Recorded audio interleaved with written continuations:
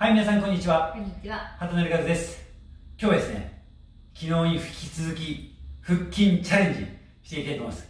今日は皆さんも多分ね、されることがある上体起こし腹筋30秒で何回いけるかっていうことにですね。まあちょっと調べてみると、一応40歳の平均、平均というか、平均が21から26回の間ということなので、目標はちょっとね、まあ26回だとしたら寂しいので30回いきたいと思います。ちなみに一番ピークっていうのは、なんか高校生、18歳ぐらいで、まあ35回、30回から35回ぐらいらしいんですけども、まあ、それをまあ、心の中で目指してチャレンジいきたいと思います。ちなみに40歳ですね。40歳、18歳に勝てるかどうか。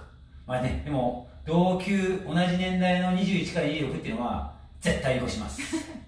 ちなみに、あの、今日は、もうさっきの昨日の撮影で、もうこのね、ドラゴンフラッグして腹筋が結構疲弊してるんですけども、まあ、そんなことね、言い訳なんで、もう僕はやっております。はい。ということで、もうね、胸もトレーニングして、背中もトレーニングして、腹筋ももうちょっとね、ワークアウトしてるんですけども、絶対26回超えて30回も超えます。では、やります。よし。じゃあちょっとね、30秒この携帯で測っていきますので、OK。よし。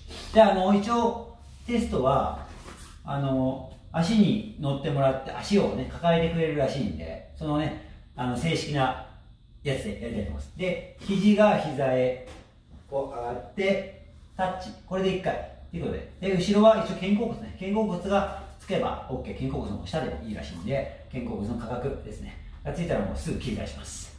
OK。よし、じゃあ、いきます。はいよし、じゃあセッティングします。お願いします。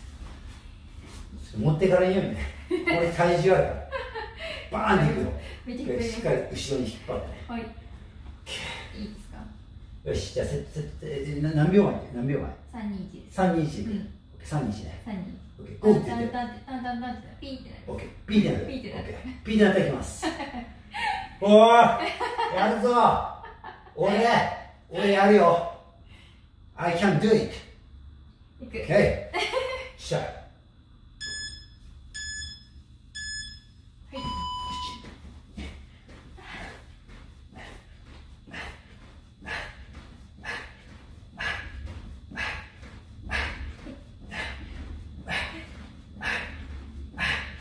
15! あ、違う。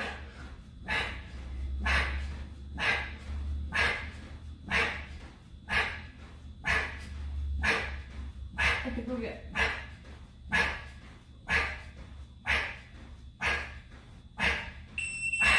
32! イエーイ。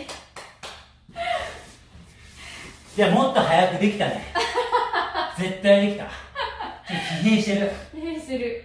もっとね、多分絶対35いけるわ。行きましょう次。ということで、32。一応18歳の平均には入ったね。まあ、同じ年代ではね、もう疲弊してても余裕で勝ってます。でもね、そうね、俺やったことあるんだよ、一回。やったことあるんですけど、えー、26ぐらいの時に、6ぐらいの時にやったことあって、その時、37だった。えー。37やってて。まあでもね、まあ、ちょっと今日は言い訳してると、結構やったんで、もう、いや、すでにやってるんで、昨日のドラゴンフラッグのね、あの YouTube も撮って、その前に胸トレを8セットぐらいやってるんで、あとラットプルもね、ラットプルを4セット、5セットやって、ローイングも4、5セットやっての、これなんで、まあちょっとね、言い訳ですけど、まあまあでもね、40代に、40歳同年代には差はわけだね。ということで、皆さんもチャレンジしてください。はい、また会いましょう。さよなら。いや、もっとできたな。